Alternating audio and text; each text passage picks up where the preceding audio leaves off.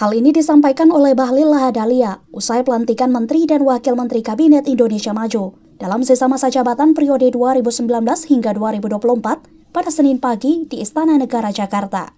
Bahlil mengungkapkan sejumlah arahan dari Presiden Jokowi untuk melakukan langkah-langkah dalam rangka percepatan terutama mengoptimalkan potensi dan produksi sumber daya alam, serta meningkatkan pendapatan negara dan lapangan kerja.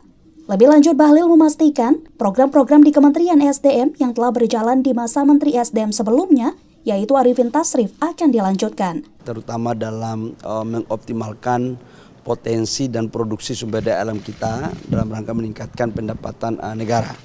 Sekaligus menciptakan lapangan pekerjaan. Yang kedua adalah yang sudah bagus sekarang kita lanjutkan, yang belum baik ya kita sama-sama perbaiki. Dari Jakarta, tim redaksi Sinpo TV melaporkan.